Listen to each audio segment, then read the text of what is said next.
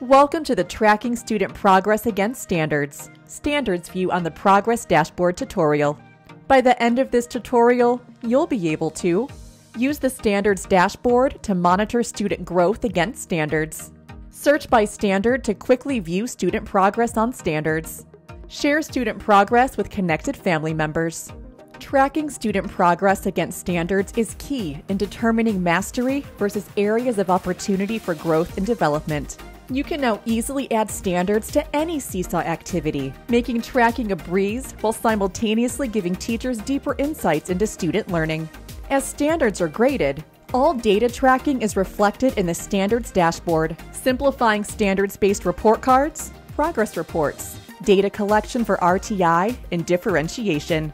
Let's jump in and explore standards and progress monitoring in Seesaw. Once logged in, tap the Progress tab to track individual student progress, group progress, or class-wide progress across standards.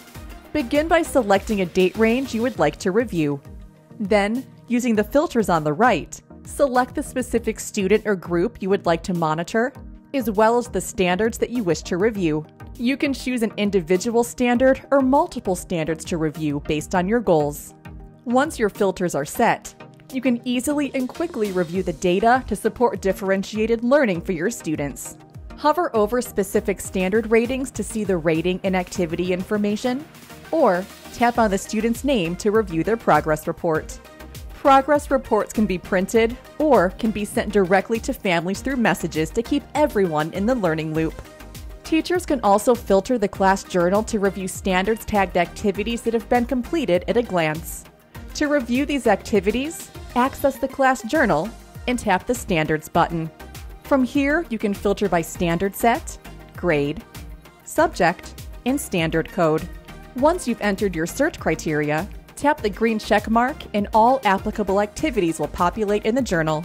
This is a great way to review activities that have been tagged to specific standards to see progress over a period of time, add to a folder, or share with family members at conferences. That brings us to the end of the Standards View on the Progress Dashboard tutorial. If you have any questions, please watch this tutorial again or visit our Help Center for additional support.